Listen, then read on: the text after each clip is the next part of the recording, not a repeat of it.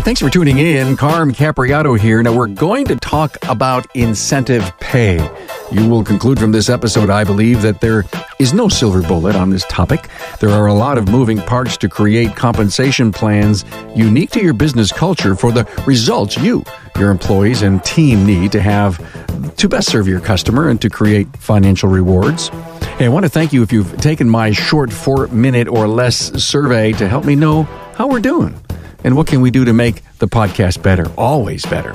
Now go to remarkableresults.biz slash survey or find the link on the website or in your insider emails. Hey, look, now more than ever, you're focused on bringing cars through your bays safely and efficiently, right? Well, Shopware's shop management system offers a completely contactless workflow. Your customers can review, approve, and even pay for the repairs right from their smartphone or personal device. Now, please reach out for a demo. See them in action at getshopware.com slash carm. Shopware, a great supporter of the Town Hall Academy. And a shout out to Shop Marketing Pros. I want you to think about how you deliver on your promises. Your customers want you to do what you say you're going to do, right? Well, it should be the same with your marketing company. Shop Marketing Pros listens, cares, and responds quickly, and they do what they say they'll do for you on the web at shopmarketingpros.com. Hey, I invited a great panel, a great panel to discuss incentive pay. With me is Seth Thorson from Eurotech Auto Service based in New Brighton, Minnesota, and also owner of LMV Bavarian, a BMW tech support company. Bryan Kelley is here from Valley Auto Electric, Covington, Washington, who's the chairman of ASA Northwest, and Bill Haas, Haas Performance Consulting, to get a coach's perspective. You may just put this episode on repeat because it contains a lot you'll want to review. We as owners have to recognize the person, and you know, you hate to say this, but you, you go back into that culture again. If your business culture accepts that, it will continue. And if your if your business culture does not accept that, it will eradicate itself. Hey, more like this in a minute. Now, the detailed key talking points can be found for this episode at remarkableresults.biz slash A191, along with Brian's chart on 23 motivators of people. Remember, you can use the talking points to help create your own plan or meeting agenda. Hey, I'm so glad you're tuning in for the best aftermarket talk radio that I know will give you the insights that are going to help you grow personally and to help your business excel. Now, if you're not tuned in while you're mobile, Go to remarkableresults.biz slash subscribe to get a free podcast app and find so many great features on my website. Have you visited the website lately? Like the books page, the keywords page, and Aftermarket Weekly Live go to remarkableresults.biz. And I hope you've watched the only live shop tour in the aftermarket. It happens each week on Tuesday at noon Eastern Time. You can watch on aftermarketweekly.com or on Aftermarket Weekly's Facebook page, among so many other outlets. You get a ton of information and a shop tour each and every week. How about that? Now, an enlightening discussion on incentive pay.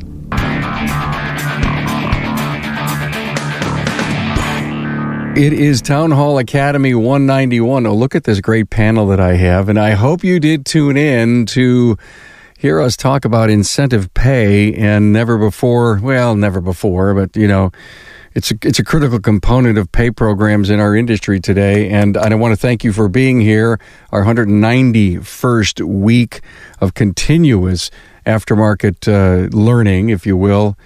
It's a single subject forum, and we do it here every week. Well, guys, thanks for being here. Who do I have? Seth Thorson. Everyone knows you, Seth. You're an important guy, big influencer in our industry from Eurotech Auto Service, New Brighton, Minnesota, and LMV Bavarian. If you worked on a BMW and you ever needed help, you probably uh, went to LMV Bavarian. I can't say that ever. Really, I can't. Tongue twister. BMW support company, and uh, and and congrats on uh, you, you, just put uh, a shovel in the ground for a brand new place, right? Yep, that'll be our third location. So our third location will open in June. When it's open, you know, I do the show every Tuesday aftermarketweekly.com and we do a shop tour. We would love to be able to have a grand opening tour.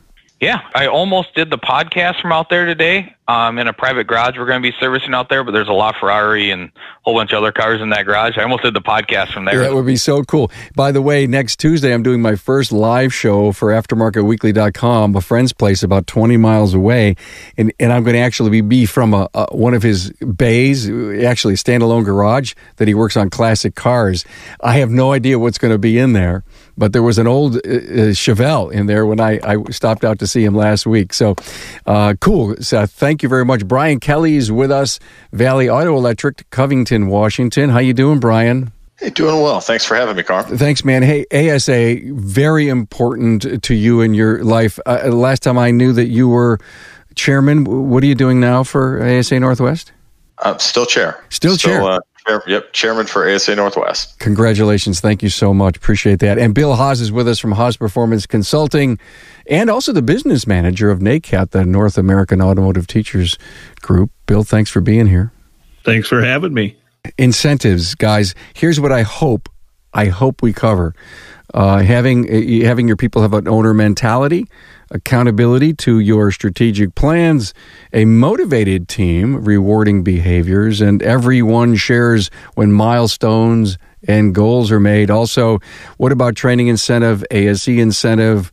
Uh, what about hours produced? And uh, hmm, how about service advisor call conversions? And again, I know those may be certain particular goals, but I don't think it's bad if we look for incentive pay around that. And I think the whole thing is about having an owner mentality. Hey, thanks for being on my team. Make decisions like I do, and also I want to reward you for, for making them. So, Bill, I want to go to you with the first question. Never be afraid, you told me, to pay an employee what they think they're worth. Yeah, I think that's really true. And, you know, unfortunately, I hear a lot from shop owners that will be talking to a potential hire and they'll go, well, there's just no way I can afford this person. It, they're probably exactly what I need, but I can't afford to pay them. And that's the absolutely wrong way to approach this. You have to look at what does that person feel that they're worth and make sure you have a way to afford them, be able to reward them for that performance, make sure they're getting what they need to earn. The bottom line is this. If a shop doesn't think they can afford somebody, what they've really told me is they're not charging enough. You got to do the math backwards work the math backwards and figure out if I'm going to pay this person this much money, this is the, the revenue that they need to generate in order for me to pay them and have the profit that my company desires and deserves. You know, Seth, I brought Bill on because he's got a coach's perspective, having so many clients, and you know, I know we're going to hear a lot of what Bill uh, helps his his customers with. Have you heard anything yet that you disagree with? No, I mean for the most part, I mean there there are times employees think they're worth way more than they are, and and you just it's not a good fit when you interview them and you can't pay them what they want.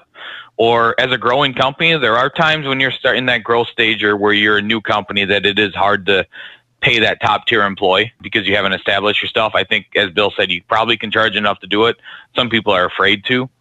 But for the most part, I mean, I got pay plans that will pay service writers 80 grand a year if they hit all their numbers. Now I got one service writer that he wanted 80 grand. I'm like, I want to make 80 grand. I'm like, great, here's your pay plan. You can do it.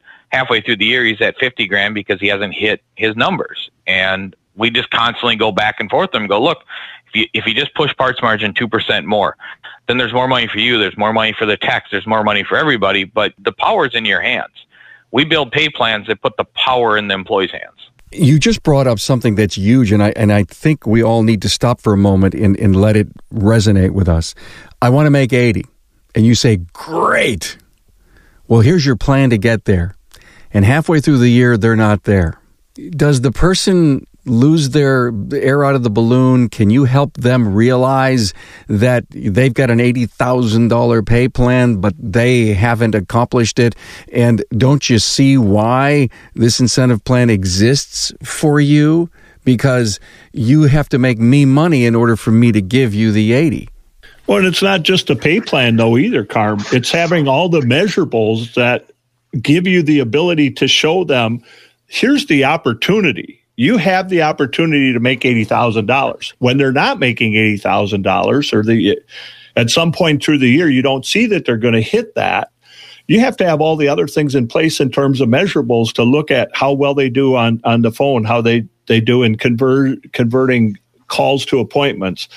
What's their hours per repair order? What's their, here's the biggest one that we miss so much is people fail to, to track lost sales. And until you start to track lost sales, you'll never understand what the real potential is in this store.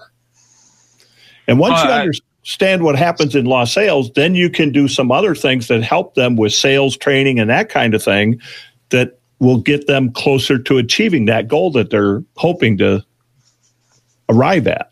I would say, Bill, though, with lost sales, one of the things we fail to do we, we fail to track lost sales as a most part, but we track it. But one thing we fail to do is track average written repair order per technician. I want to know how much my technician's writing up. My technician's not doing a thorough, proper inspection. I'm not even giving my sales guy a chance. That's correct. So that's why we have to have all those measurables. We can't point to just one thing, right? It's we have to have all those things in place, and they all got to be tied together. I take incentivized pay, I guess, from even a little bit different angle and and I look at it as, you know, what is it? What is it we're trying to motivate from our employees? You know, I've heard us all talk about cash, and you know, we've talked about money. We've talked about eighty thousand dollars. We've talked about paying them what they're worth. Now, I think in any business scenario, they should be getting paid what they're worth. Now, in order to do that, there may be certain obstacles that they have to overcome. There may be certain things that they have to do, but I feel like we're basing this on the assumption that everybody's money motivated. And I think that as owners, we make that error all too often. And, and when in reality, there are so many other motivators for people, whether it's time off, whether it's praise, whether it is teamwork, ownership. Those are true motivators. The dollars, in many cases, get them there. And, and if all we focus on is that, we're, we're losing the second half. And and really we're we're robbing in many ways from from where these employees are and we're doing nothing more than dangling a stick and a carrot in front of them. And i i think that that's why so many employees leave. And i think that's where you see the high turnover is because somebody offered a bigger carrot.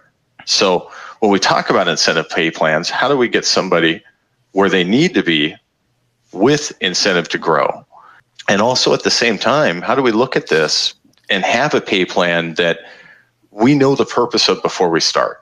And it fits the culture of our environment and it fits the team that we want to grow. And I think those are some really critical pieces. So it's not it's not just about the pay, albeit the pay's got to be there and there has to be a metric to get there.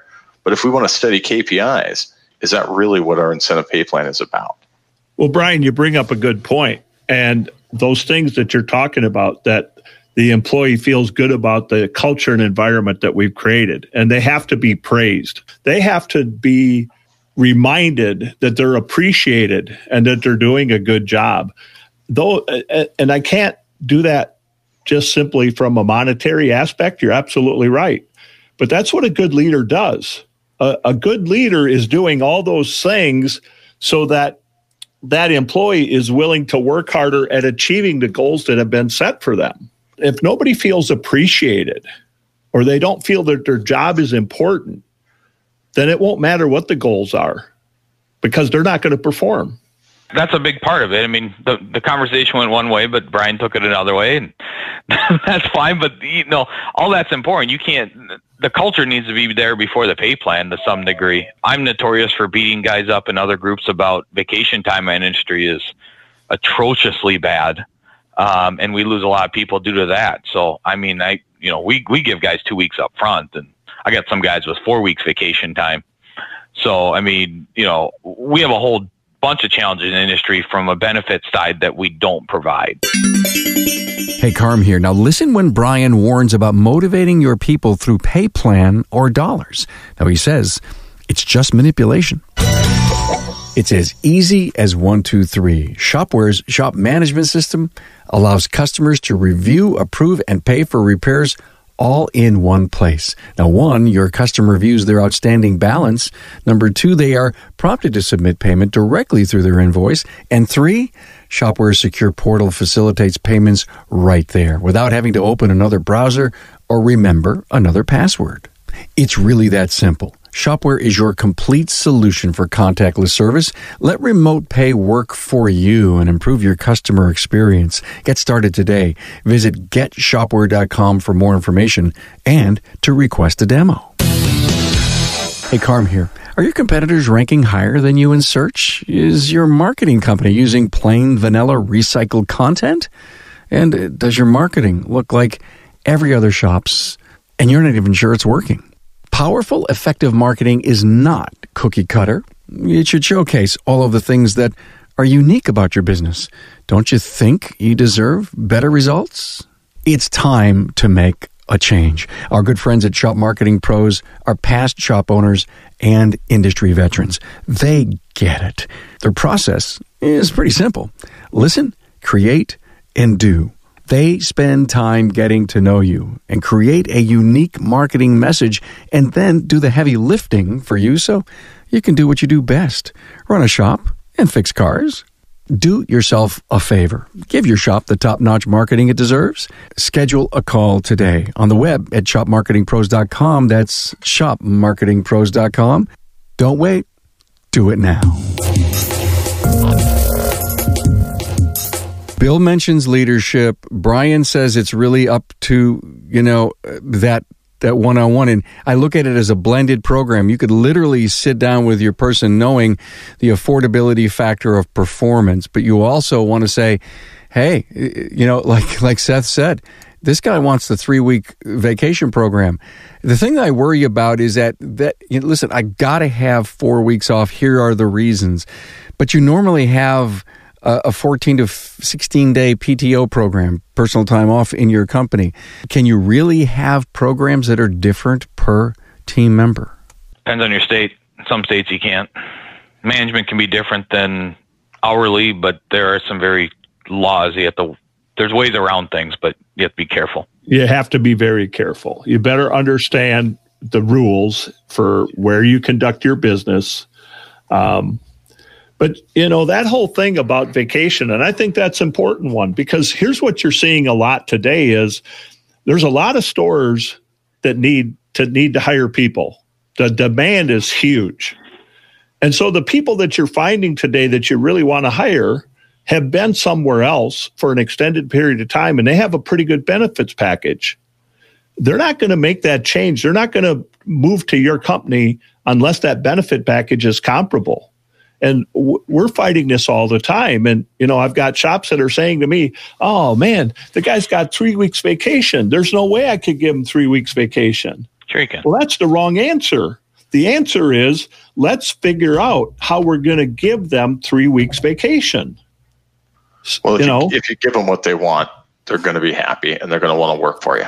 And I, right. I think that's a critical piece. And, you know, we mentioned different pay for for you know similar positions. And you know, I know in Washington State, I know you can definitely do that. You know, so if you have an incentivized plan for one person, it can be different than somebody else. Can be different than somebody else. You know, is it like that in all 50 states? I doubt it. But tailoring each plan to each person, I think is is critical. You know, not not everybody wants the same thing. And how do you incentivize the entirety of a team with the same incentivization? And, and I think that's the critical piece. Then here's our vacation plan for the entire team. If you're hiring a person, you say, I can't do four weeks, but I can do three, and you could earn up to three, and you could you can say you don't have to be here all these years in order to earn three. I'm going to give them to you. That's fine. And but you need to come up with the list of what's really important that's non-compensation for my people and how can I make all of that work in a package and then tie the compensation incentives which I we need to talk about in fact, I recently did some work on the invisible invisible paycheck. So many uh, team members don't even know what we really pay and what the value of vacations are and all the unemployment taxes and all the FICA that we pay. And, and frankly, it's not like you're, you're forcing, you need to see, no, this is what it really takes to run a business and to pay our people. And I think an invisible paycheck, no matter if you're contributing to a 401k, it needs to be reminded of our people our employee portal that we have actually shows an employee's total compensation package with their 401k, medical, and dental. And that's where they log in to make all their benefits and time off requests and everything like that. and it's actually a pie chart that shows them total compensation package right in front of their face every time they log in. Well, and and they have to have that because if they're ever going to think about leaving or thinking that you know there's a another job, the grass is greener over here, they better be looking at all of that than just a single number of $25 an hour versus $26 an hour. They need to have all that information that you're talking about, Seth. But I want to back up for a second on the vacation thing.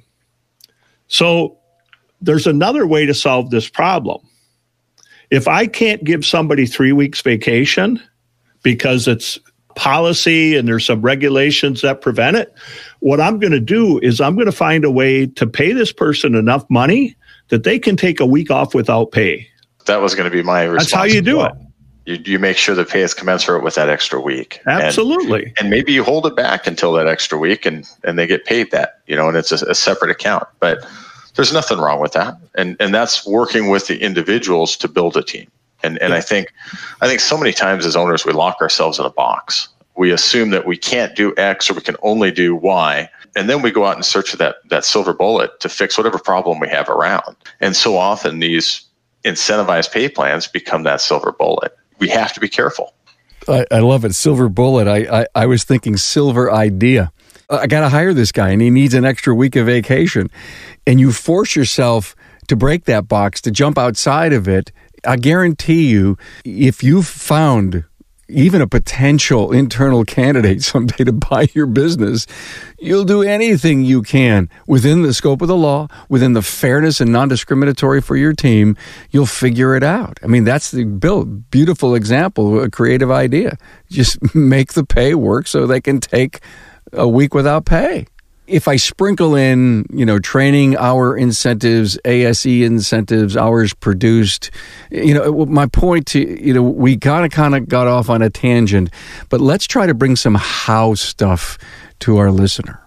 And what about, you know, when we're talking about incentives or things that we add? And I, I think one of those things that uh, is critical too, um, and we, when we do it here, is we provide a tool stipend for the employees you know how do you how do you add that into an incentive package as well because now you have a mutually beneficial we have all built-in boxes i can't imagine what that new shop's going to look like with all of your creative ideas and so seth the thing i would ask you on that and one of the reasons we don't provide all tools is we try and leave some autonomy in each in each person's hands so that they're able they're not working out a prescribed box. They're no, no, no. We provide we provide the box. They provide their own hand tool. Yes. Okay. So you provide the box. Yeah. You're seeing exactly. Lexus, you're seeing Toyota, you're seeing BMW, you're seeing a lot of the OEMs provide built-in toolboxes, require it to their dealerships. So if you're trying to hire a technician and grow or do things, you're often finding techs that don't have toolboxes.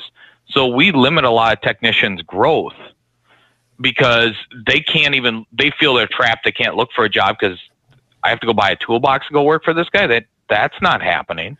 Now, well, a lot of shop owners would go, "I'll buy you a box if you come work for me," but the yeah, but there's there's another issue with the whole toolbox thing too. It's it's the technician who's got the semi trailer size toolbox that rolls into your shop and now restricts workflow and creates you know creates some other difficulties in the in the shop.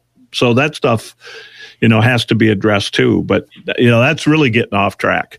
To go back to you know where Carm started with this thing in, in the pay program that we use in our company, we have pay enhancements. And so those pay enhancements we can customize for every employee and we have them for technicians we have them for service advisors so those pay enhancements will be things where we'll pay additional dollars on their hourly rate for continuing education. They have to meet a goal. When they meet that goal, and it's a quarterly goal, for the next quarter, they're earning additional dollars for every hour that they work for their continuing education. We'll do the same thing for ASE certifications, or if there's a, a smog license in some states, that kind of thing. We'll pay additional money will place a value on each of those certifications.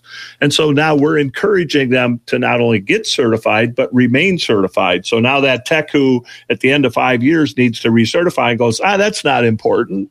All of a sudden he looks at his paycheck and he goes, well, it's worth a dollar eighty an hour if we're set up if we have them set up at, at twenty cents a piece and they've got nine certs, that's a dollar eighty an hour. The guy goes, hmm, I don't think I'm going to give that up. And pretty soon, when you do the math and you start thinking about the average employee works about 2,100 hours a year, 2,100 hours a year at a dollar eighty, nearly four grand. That's some money. The biggest thing with that, and I agree with Bill, is we build our pay plans to accomplish the goals that we want.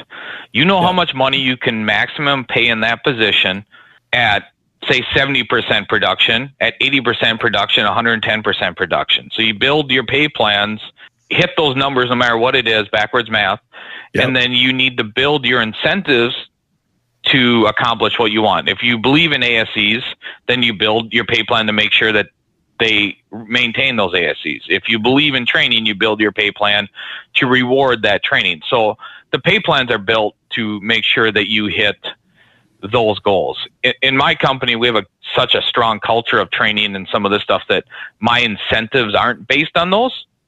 But we have a different culture in our company, and some companies we have a different way. We have other things we're looking for that we build our pay plan for incentives. But if those are truly important, you can't get your guys to do it, then put them in the pay plan. Build the pay plan to get what you want done. I think it's critical to remember whatever you focus on in the pay plan, they're going to value. Whatever you don't focus on, there's a real good chance they won't value it. And, and it doesn't matter if that's at the technician level or the service advisor level. And exactly like you said, Seth, you're going to tie some things into culture, and, and that's going to be just prevalent all the way through your your your business, or other things you're going to tie into pay plan. But it's critical to understand what you're tying in and what it is they're not going to, you know, what it is they're not going to be incentivized on, because sometimes that's more important than what they're incentivized on. Guys, let me ask a question about back of shop and counter. Do the uh, pay plans or the incentive plans have to be aligned between the technician and the counter?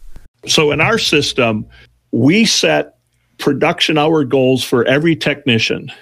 And it's not across the board kind of a thing. We do it on an individual basis so that we look at their knowledge, their experience, and their skill sets. And based on that criteria, we determine how many hours we need produced by that technician. That's their goal. And then their production bonus is based on hitting that goal. And the goal is tiered. So they have opportunities as they grow and improve to, to earn more money as well. If we have a shop with three technicians, we take that number of hours for each technician it's added together. That is now the sold hours bonus goal for my advisor. So it, it ties it together so the tech understands how many hours they need to produce to be rewarded. And it's the same number that the advisors need to sell in order for them to be rewarded. It's a perfect match. It's one to one. There's, a, I mean, there's a push and pull from the front and the back that we try to set our pay plans up for, but um, our back pay plans are set on an hourly with incentive for production. I believe that pure flat rate is is dead really fast with these upcoming cars and everything, and so our hourly with an incentive on top of that for production. Um, but yes, our, our pay plans are a push and pull from the advisor to the front. And so we want our, our service writer to be pushing sales. We want our technicians to be pushing proper inspections. We look at average repair order written by the techs.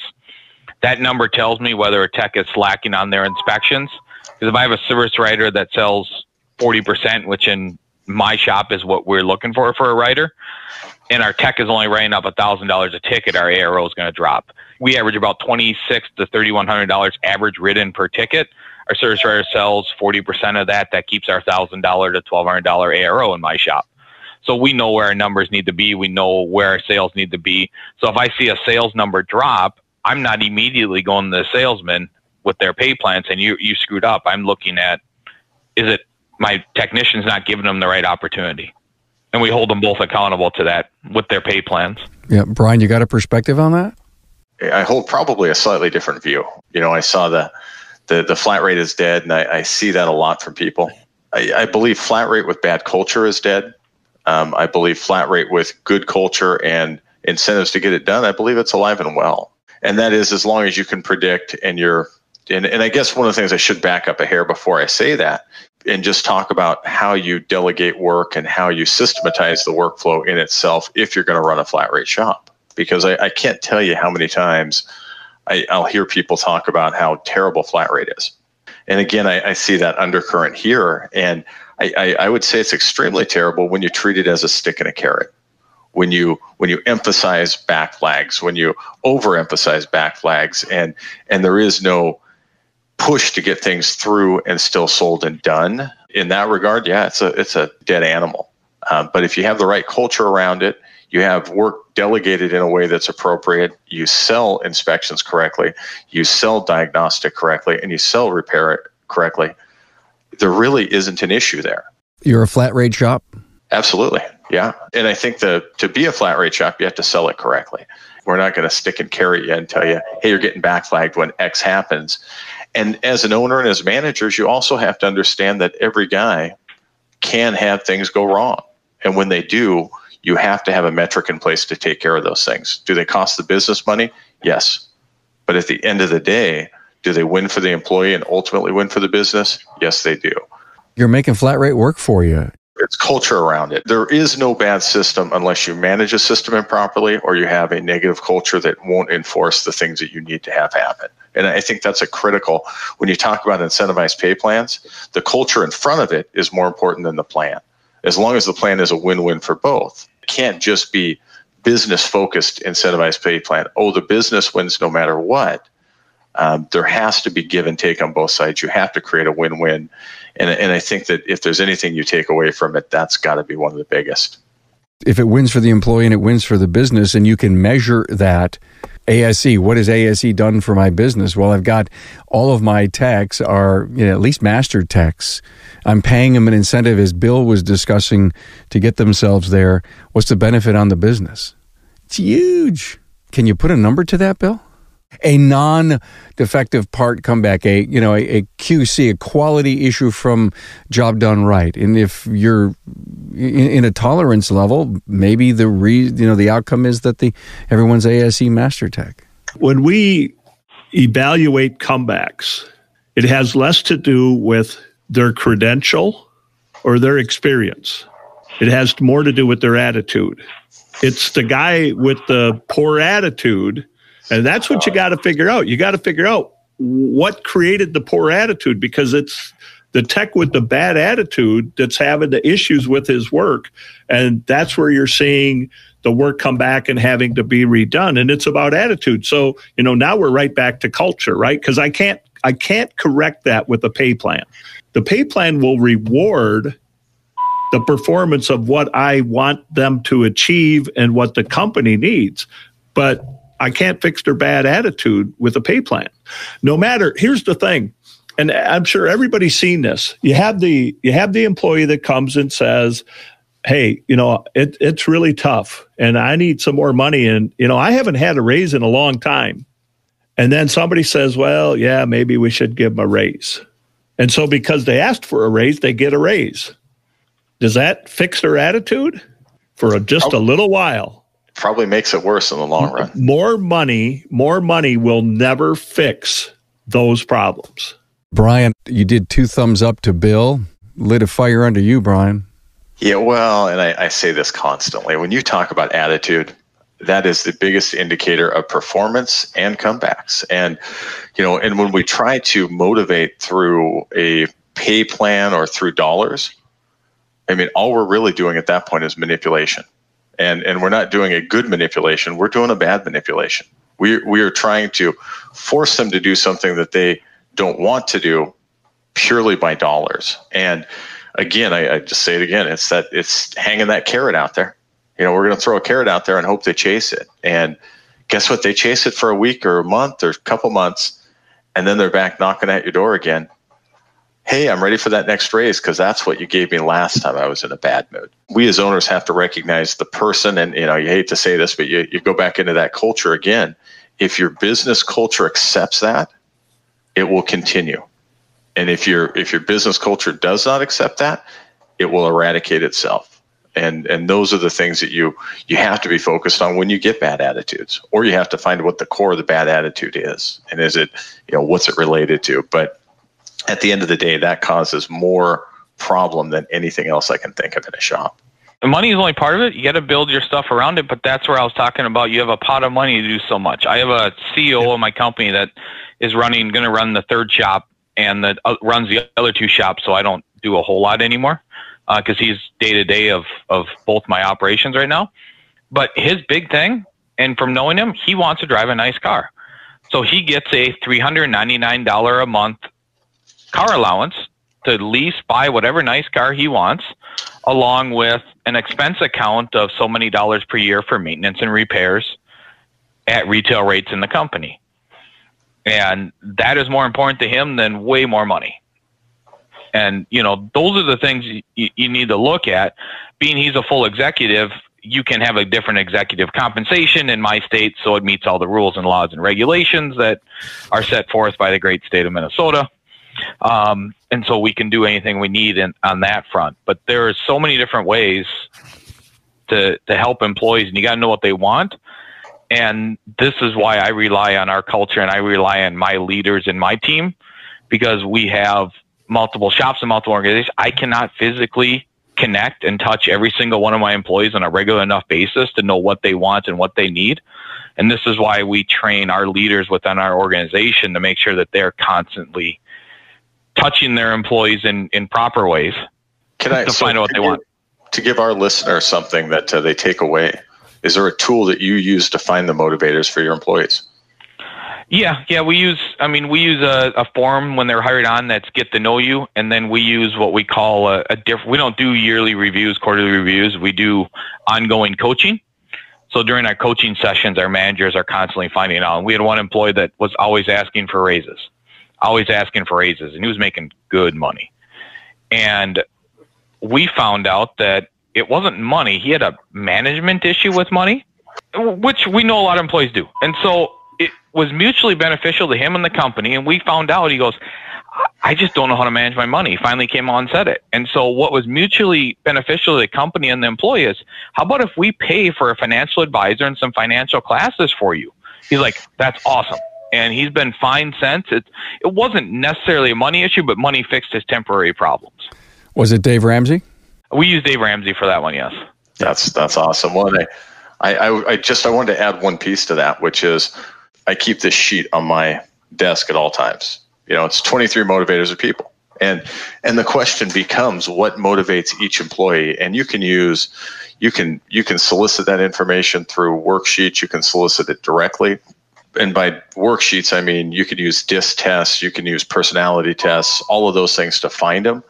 But I think the the piece here that I'm taking away from what you said, Seth, is that all of us owners should know that. All of our managers should know that. And we should have a way to drive that bus to what motivates our employees.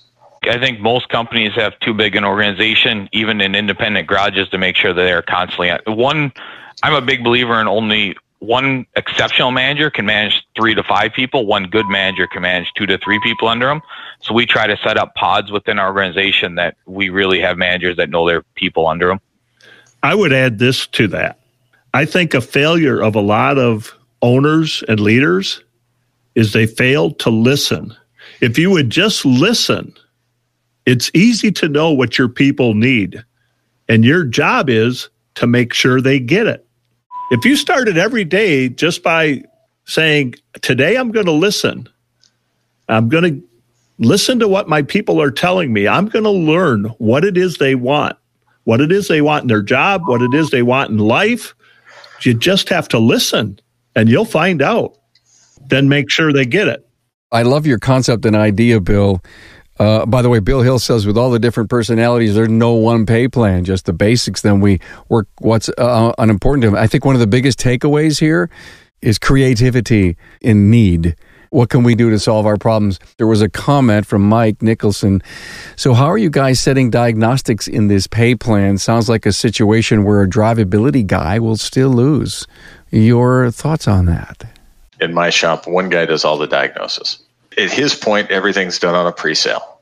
Um, that pre-sale goes in. You know, we we assume every job at two hours. Um, if it takes less, we will credit back, but it's got to be significantly less. If it takes more, once he's at, we're going to say 75% of where he should be.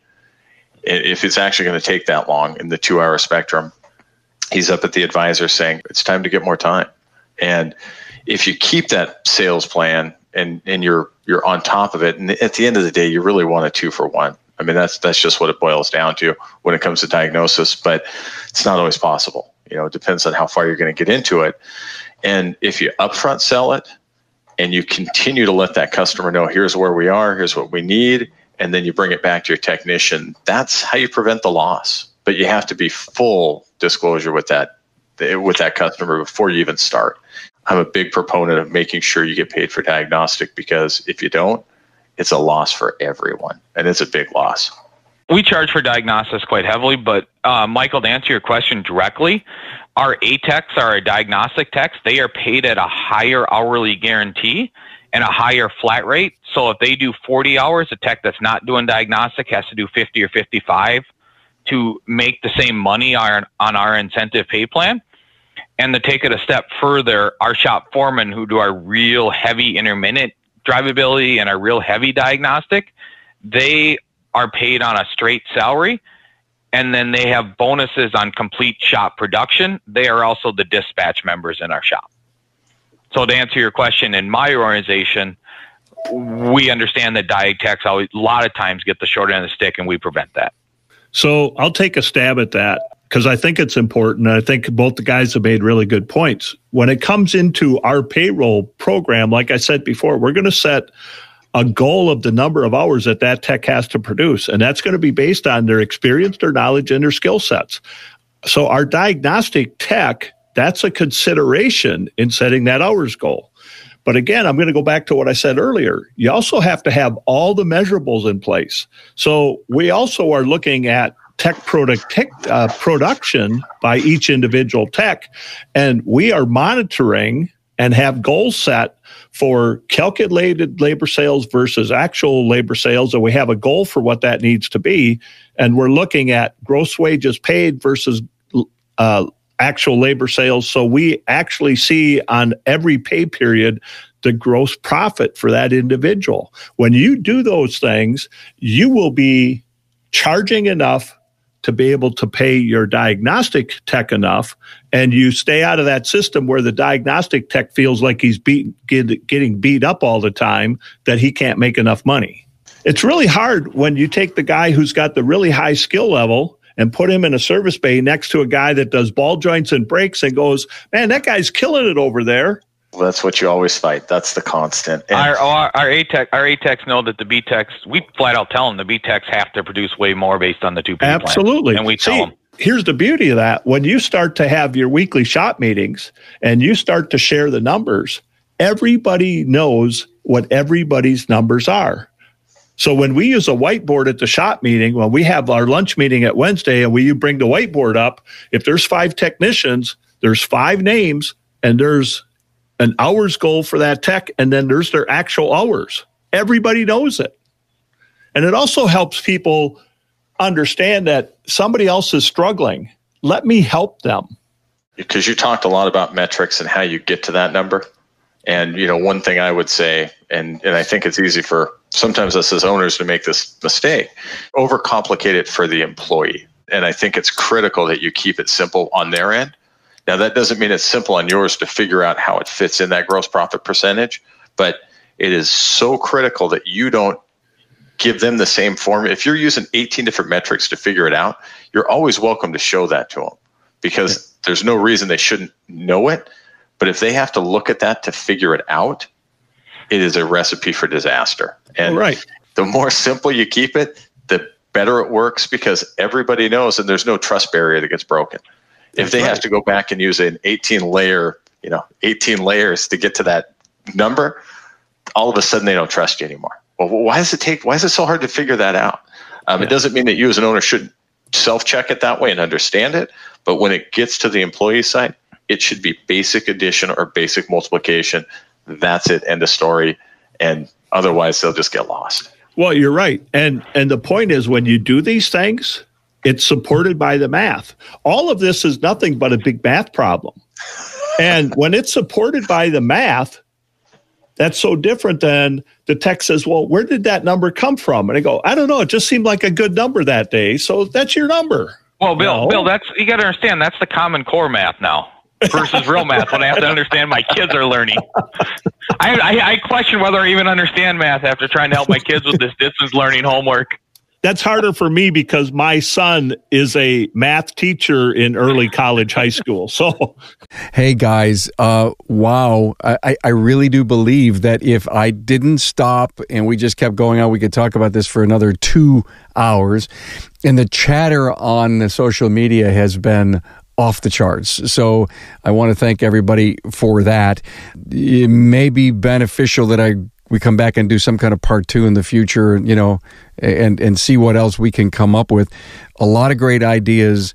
Uh, I don't think there's any one answer. I think it's it it's shop dependent. It's profit dependent. It's it's hourly. It's incentive. It, but you know what? I think we threw an awful lot of great stuff out to motivate people to do something about it. I mean, that's what we do here on on on Town Hall Academy. We throw a lot of great ideas. I'd love for you to all, you know, give us a final perspective or word on, on everything that you've heard, or at least maybe even restate your passion. So, uh, Brian, I'll, I'll start with you. I'll go to Seth next, and then Bill. How about that? you know the way i would phrase this is i think it's important that as owners we look at a plan we understand our business we understand our culture and from that we build the pay plan. And quite honestly if your culture will support the plan that you use I, i'm not going to say that there's a bad plan out there as long as it works out in a win-win for the employee and the business.